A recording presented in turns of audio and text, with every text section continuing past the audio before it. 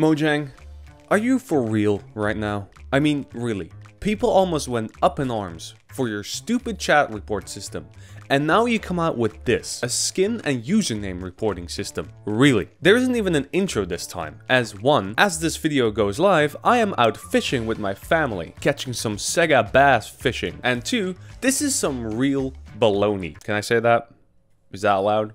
Anyway, I don't even have words to describe the anger I have right now. So let's talk about the recent snapshot. 23W33A, or as I refer to it, 23Ls. It fixes a lot of bugs and changes the mob reach, which is actually good and we'll touch upon in another video. But at the same time, they make a mistake by implementing this a player skin and name reporting ski. You can now report these in the same menu you could report player messages with the possibility of a total ban if you repeat your violations too much. And to be honest, this is nothing new in gaming. League, one of the biggest game for people who like screaming at their screen, has this feature. However, Minecraft is a sandbox. Our sandbox, Mojang. Or did you forget it? But before I absolutely go ape mode, let me first explain what exactly they're planning to do. So like I said, you can report names and skins now. If your skin gets banned, the following happens. When a skin is banned, that player with that skin will have 1. Their skin removed, 2. Will be notified when they launch the game. 3. Will be automatically assigned one of the default skins, so that's Steve or Alex. 4. Can still play multiplayer and single player.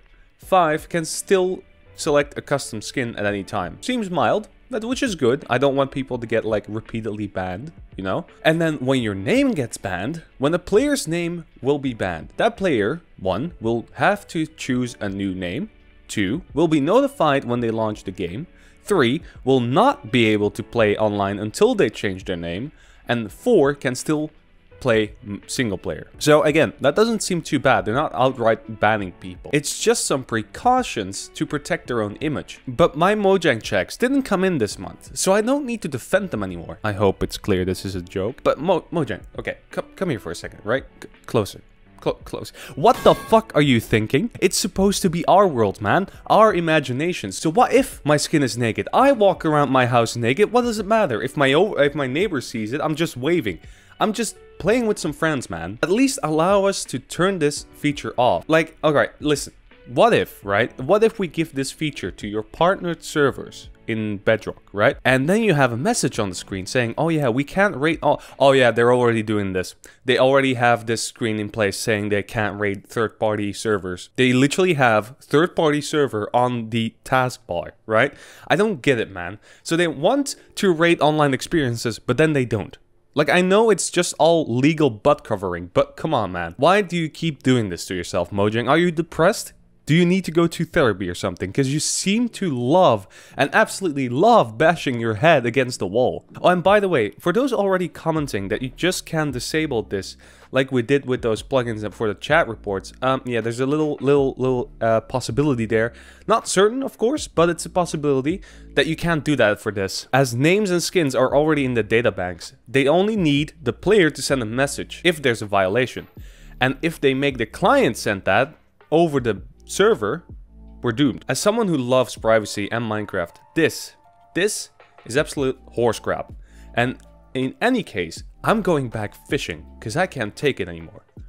I was Lunar, you were awesome, and this better be fixed when I'm back.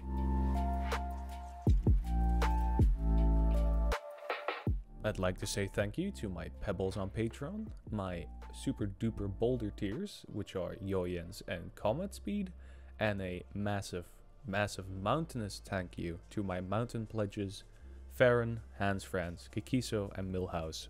You make this content possible, and I wouldn't be able to do it without you. If you would like to have access to all the interviews I have done and will do in the future, feel free to pledge on Patreon right now.